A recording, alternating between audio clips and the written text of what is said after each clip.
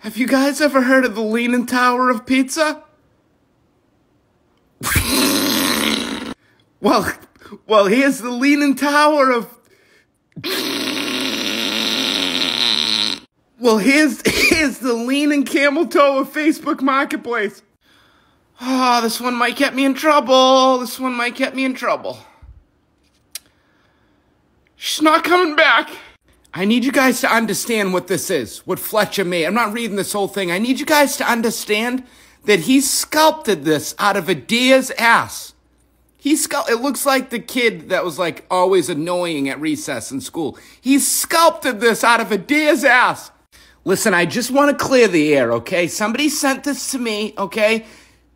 Come back. When you get to heaven, blame your parents. Don't blame me. With the last name like back, to choose a first name like come, it's their fault, come.